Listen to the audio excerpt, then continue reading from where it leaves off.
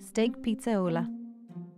Ingredients 250 grams of sirloin or fillet steak cut into two pieces, 250 grams of potatoes halved, 150 grams of broccoli florets, 150 grams of tomatoes chopped, 150 grams of green beans, 3 teaspoons of rapeseed oil, 1.5 teaspoons of oregano, 1 tablespoon of balsamic vinegar, 1 tablespoon chopped parsley, 2 cloves of garlic chopped, salt and pepper to season.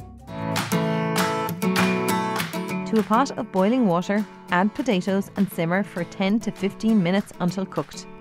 In a frying pan, heat 2 teaspoons of oil over medium to high heat. Season the steaks on both sides with salt and pepper and place on the pan and cook as desired. 4 minutes per side for medium rare and longer to cook through. Remove once cooked to rest.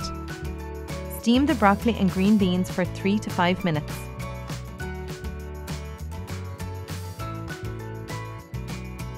In another pan on medium heat, add 1 teaspoon of oil along with the garlic and tomatoes and cook for 5 minutes.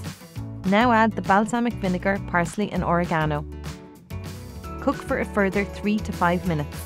When everything is cooked, place the steaks on a plate, cover with the tomato mixture and serve with potatoes and vegetables. This serves two adult portions.